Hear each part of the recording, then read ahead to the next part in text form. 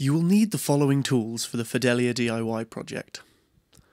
Woodworking clamps, ideally as many as possible, with the right size for the cabinet. Some sandpapers or files, a chisel, wood glue, a cutter or a craft knife, a drill with three sizes of drill bits and a countersink drill head, a 5mm Allen key and a 2.5mm Allen key. For the 5mm Allen key, you will want a long one with a ball head. It will make life much easier for you. Screwdrivers in different sizes, a spanner, and some masking tape.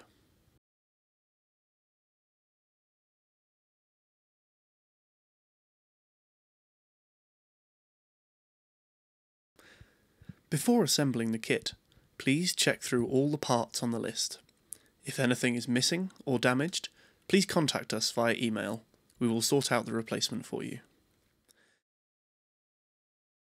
In the package, you should receive plywood parts for a pair of cabinets, four blocks of foam in different sizes, a paper template for drilling screw holes on the rear panel, a pair of bass reflex ports, a pair of woofers, pair of front baffles with a tweeter installed, a pair of finished crossovers, a pair of speaker terminals, two strips of gasket, and five types of screw.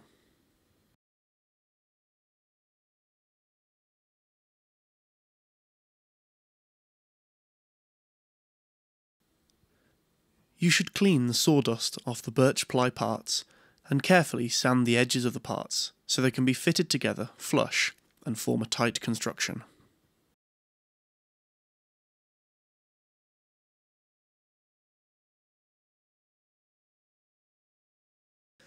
In the following two steps, we don't need the rear panel of the cabinet, so let's put it aside first.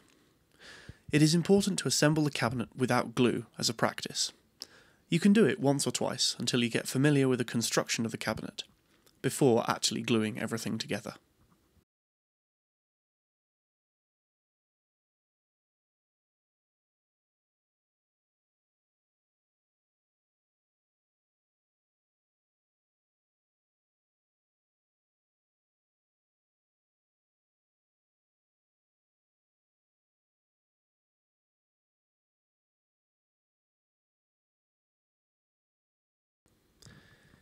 Here, we tape the cabinet together to show you how it should look assembled.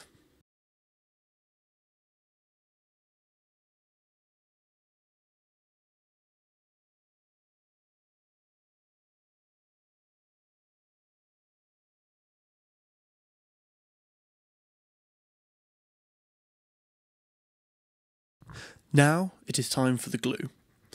We believe our DIY kit customers have some basic woodworking skills, so we're not going into full detail about how to glue a cabinet together.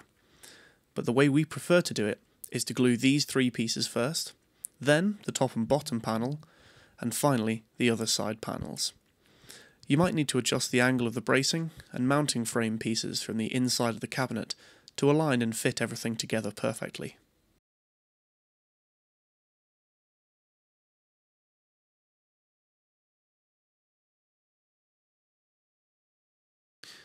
One thing to keep in mind is that you should try to keep the joints of the rear panel mounting frame as clean as possible. Otherwise, you might have a hard time cleaning it up after the glue is completely cured. You can clean the excess glue by wiping it off with a wet towel.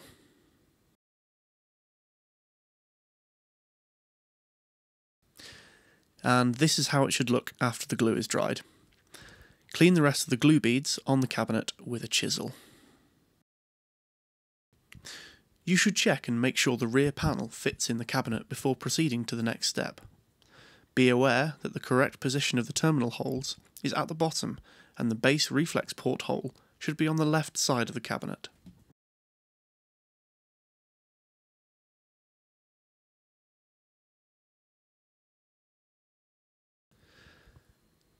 Trim the paper template as shown and then align it to the rear panel.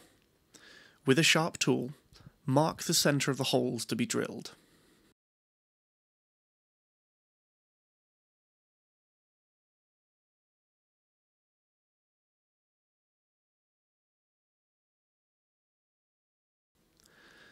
The first set of holes to be drilled are the pilot holes, so you should use a drill bit with a diameter just a bit smaller than the countersink screws. After drilling the pilot holes, remove the rear panel for the next steps, clean away any debris on the mounting frame and sand down any unevenness around the screw holes if needed.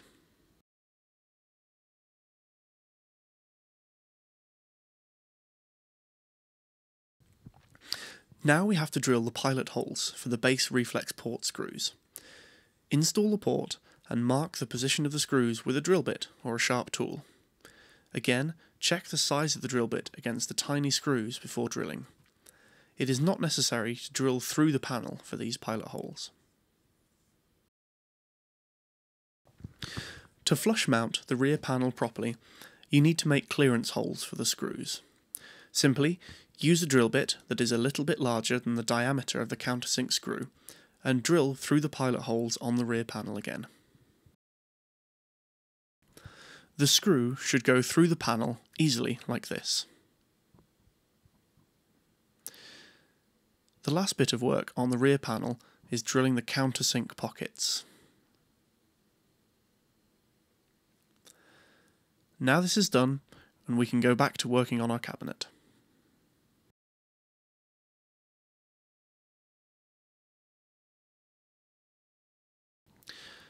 To prevent any unwanted air leakage, you need to apply a gasket to the rear panel mounting frame. Due to the location of the bass reflex port hole, you should position the gasket at the outer edge of the left side of the frame, but for the rest of it, it will be better to follow the inner edges.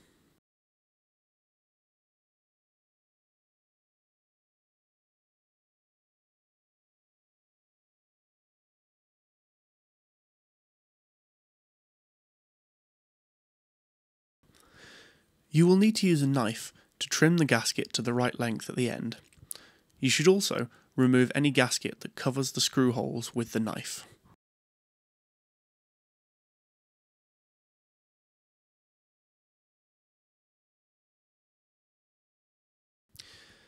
Now flip the cabinet over and put the front baffle in place.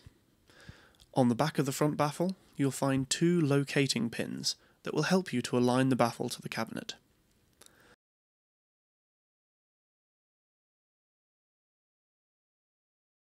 When installing the front baffle, you should position the tweeter cables to where the semicircular cutouts are, so everything will slide in smoothly.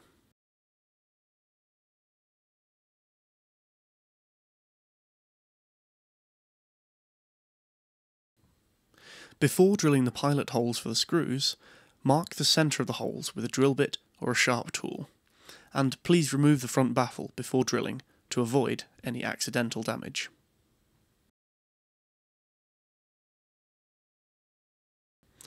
Before locking the front baffle in place with the machine screws, please secure the baffle temporarily with some masking tape. Here, I also put a piece of paper in between to prevent any possible glue mark on the baffle. Turn the cabinet around and you can see the two screw holes from the back near the top of the cabinet.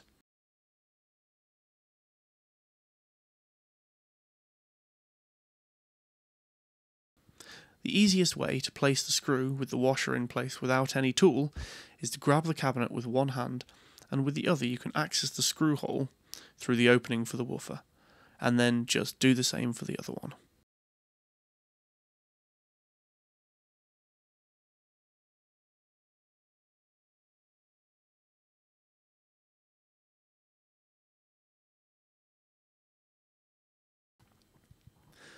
Tighten the screw with the long Allen key, but beware not to go too extreme, which might cause damage to the baffle.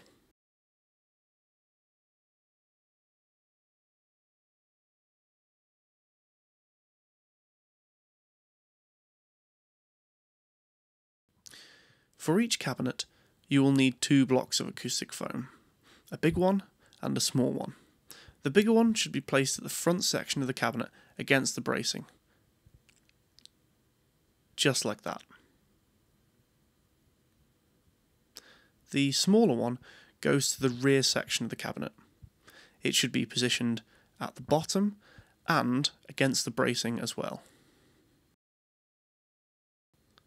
like shown here.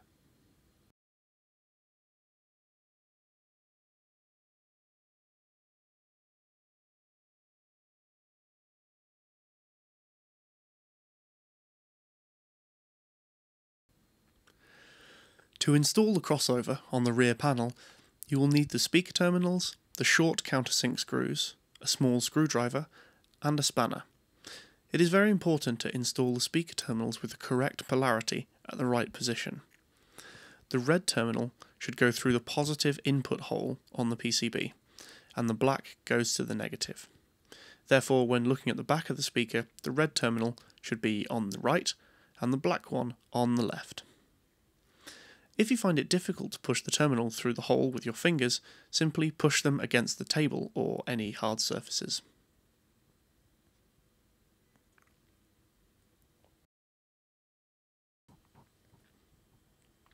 Next, we place these shake-proof washers before installing the nuts and tightening the nuts with the spanner.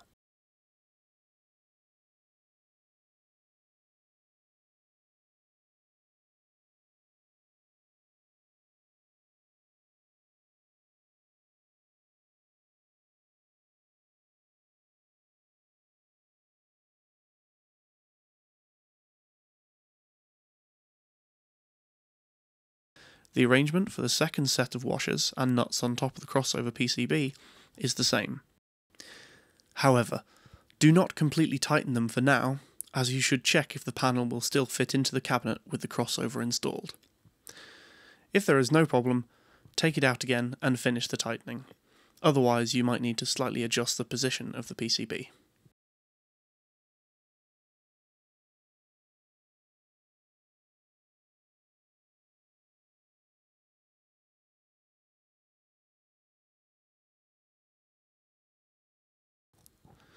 On the PCB, you should see four screw holes, as indicated.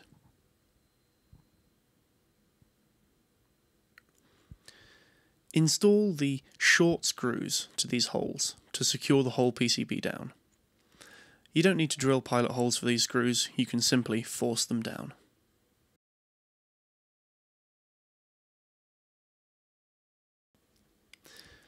Please beware that you should never turn the screws all the way down. You should stop turning the screw when the head of the screw is pressing the PCB down, just enough to prevent any wiggling. You can test that by pressing on the PCB. Please do it slowly and never cause any obvious bending of the PCB.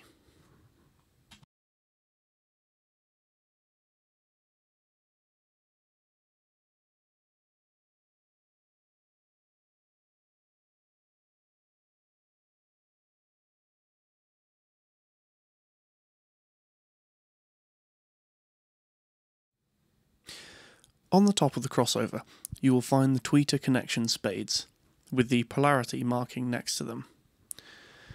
Connect the black spade to the smaller negative terminal, and the white one to the bigger positive spade.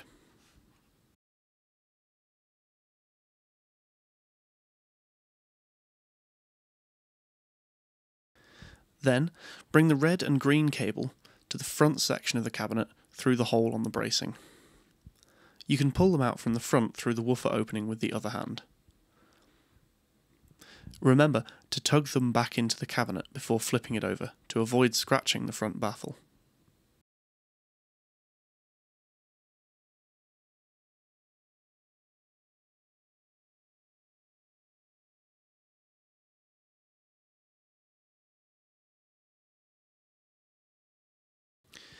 Now you can install the bass reflex port with the mini screws and secure the rear panel in place with the long countersink screws.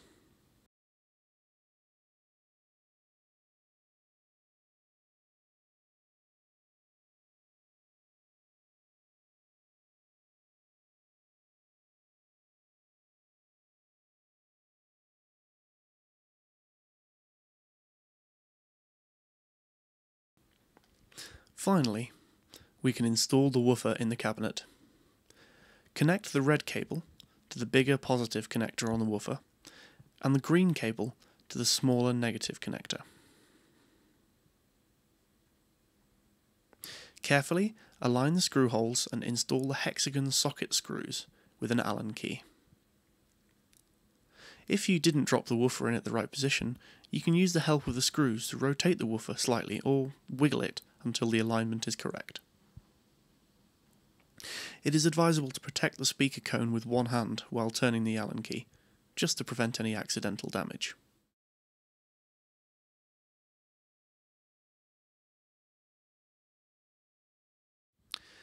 Now you have finished building one of the Fidelia speakers. You can do some basic testing by connecting it to your stereo system, playing music, and see if you can spot any issues. If everything works fine, repeat the process from step 5 onward and complete the other speaker.